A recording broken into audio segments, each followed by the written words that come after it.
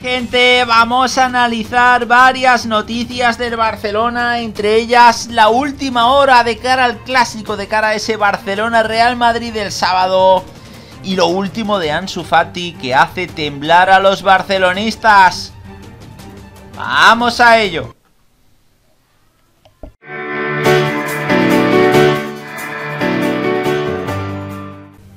Hola de nuevo chicos, ¿cómo estáis? Bienvenidos de nuevo a otro vídeo para el canal. Vamos a analizar la última hora del Fútbol Club Barcelona.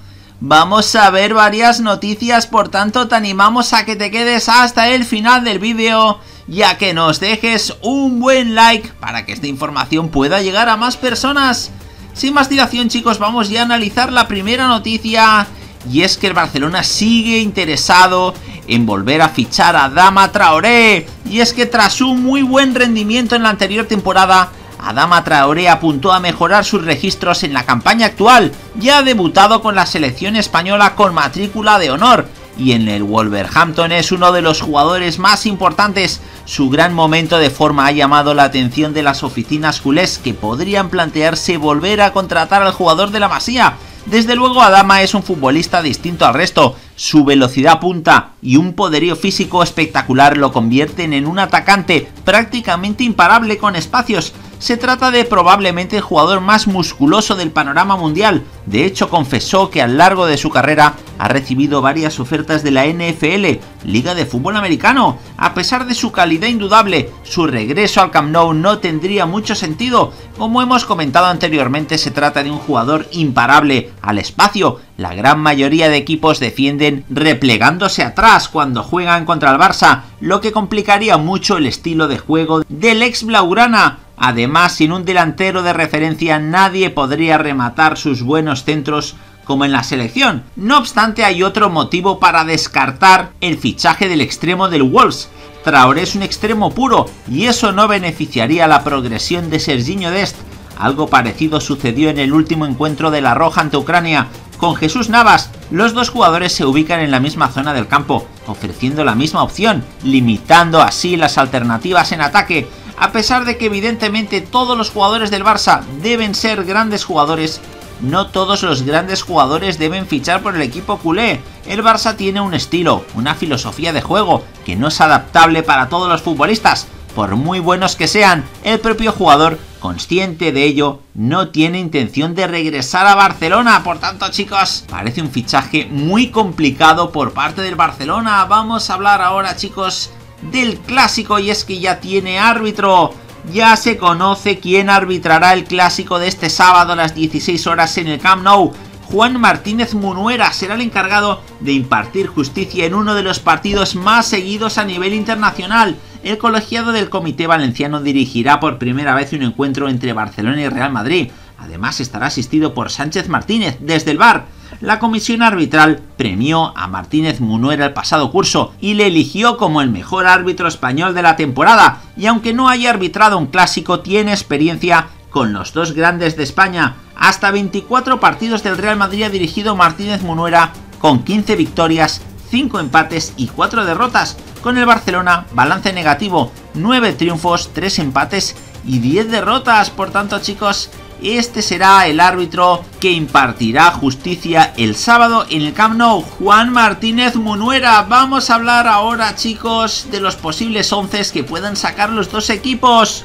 Y es que el Fútbol Club Barcelona y el Real Madrid, como decimos, chocarán por primera vez en esta temporada el próximo sábado, con un Camp Nou tremendamente vacío y un ambiente extraño comandado por las circunstancias los dos gigantes del fútbol español disputarán un vibrante encuentro que siempre supone más que tres puntos. El gol verás, evitar que tu máximo rival por el título sume y el subidón de moral y autoestima que supone convierten a este partido en único que todos los años aparece rodeado en rojo fluorescente desde que el calendario se da a conocer ninguno de los dos clubes ha comenzado de la mejor manera posible la temporada. Eso es un hecho. Mientras que el Real Madrid acumula dos encuentros perdidos consecutivos, el Barcelona también pinchó ante Sevilla y fue derrotado en Getafe. Es por eso que ante el peor momento en mucho tiempo de ambos, las fuerzas se han igualado por lo bajo y se prevé un encuentro bastante reñido que podría decidirse con pequeños detalles. ¿Qué alineaciones podrían poner en liza tanto Kuman como Zidane?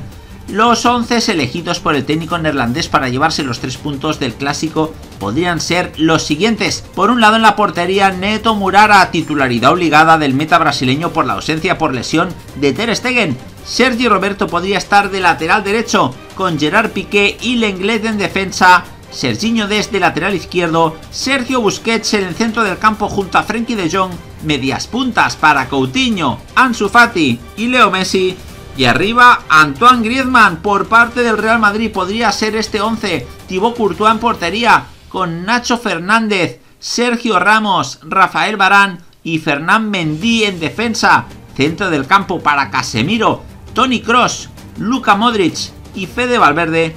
Y arriba Vinicius y Karim Benzema. Por tanto, estos son los posibles 11 y esto es todo en lo que tiene que ver con el clásico del sábado. Vamos a hablar ahora, chicos, de las demandas de Méndez, el representante de Ansu Fati, por renovar con el Barcelona. Y es que el hispano-guineano se ha convertido en una de las mejores noticias de la temporada para el Barcelona. Después de su sensacional irrupción en el primer equipo el curso pasado, el joven atacante de 17 años se está encargando de confirmar en esta campaña todo lo bueno que se esperaba de él. Así, las loas hacia el ya internacional no cesan de acumularse. Autor de 4 goles y 2 asistencias en 5 choques que ha disputado hasta la fecha, uno de los temas que centran el pensamiento del Barcelona es el de cerrar lo antes posible una renovación de contrato del futbolista y proceder a su blindaje, con su nombre ya en la agenda de otros grandes de Europa.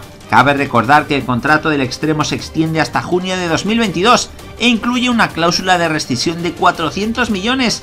De ese modo, de no lograr una renovación de aquí al final de la temporada, el jugador entrará en el último año de su contrato. Consciente de esta situación, el agente del futbolista Jorge Méndez ya se frota las manos. El portugués es sabedor de la importancia que tiene el joven talento para el Barcelona, así como la necesidad tanto deportiva como institucional de que éste renueve el vínculo que actualmente une ambas partes y piensa exprimirlo al máximo. Así lo relata precisamente la información que podemos encontrar en 4 y es que a tenor de dicha fuente el agente ha puesto una condición clara para que Ansu Fati renueve el contrato con la entidad que ahora preside Bartomeu. Esta no es otra que la de que Ansu Fati pase a encontrarse en el segundo escalafón salarial de la entidad, con Lionel Messi cobrando alrededor de 50 millones de euros y el atacante francés Griezmann prácticamente 20, Jorge Méndez quiere que el joven talento del Barcelona pase a cobrar una ficha de 10 millones de euros Queda ahora por conocerse cómo reaccionará el propio equipo de la ciudad condal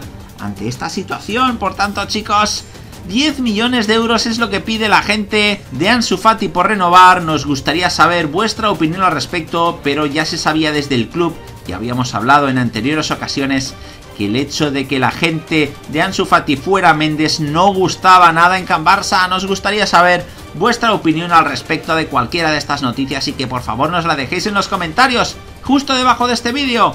Nada más por el momento, como siempre animaros a dejar un buen like al vídeo, a suscribiros al canal si no lo habéis hecho y a darle a la campanita de notificaciones. ¡Hasta la próxima!